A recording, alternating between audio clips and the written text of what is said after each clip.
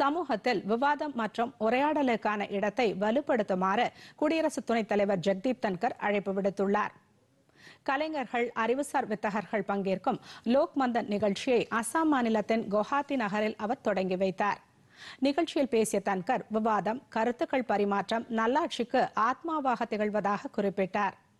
பிரச்சினை குறித்து விரிவாக விவாதிப்பதுடன் கருத்துக்களை பரிமாறிக்கொள்வது பல்வேறு ஆபத்துகளிலிருந்து நம்மை காக்கும் என்று குறிப்பிட்ட அவர் சமூக ஊடகங்கள் தொலைக்காட்சி உள்ளிட்டவற்றில் பரிமாறப்படும் கருத்துக்கள் மோதலாக உருவெடுப்பது குறித்து கவலை தெரிவித்தார்.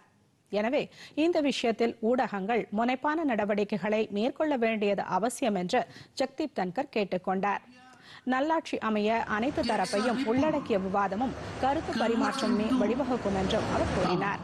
Tsunami by high decibel. Media needs to rethink and keep in mind our age-old ethos, democratic values, and civilizational gift. Trying to step out of our echo chambers, caused both by social structure and social media algorithms, and let our minds breathe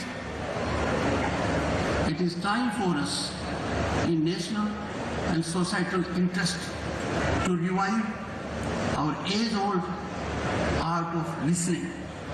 We must rediscover the art of dialogue.